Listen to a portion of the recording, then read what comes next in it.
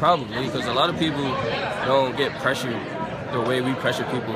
And I think we surprise a lot of people with that. We try not to let people run their stuff. And we get out and run all the time because we got so many great players off the bench and starting. So it's just.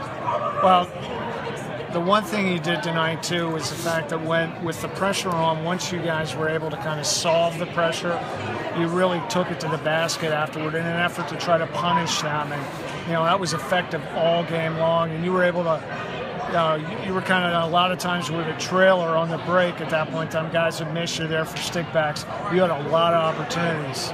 You know, thoughts about the fact that you had to take advantage of your physical you know, gifts tonight being the, the biggest guy on the floor. Yeah, um, our coaches always tell us, you know, crash the boards.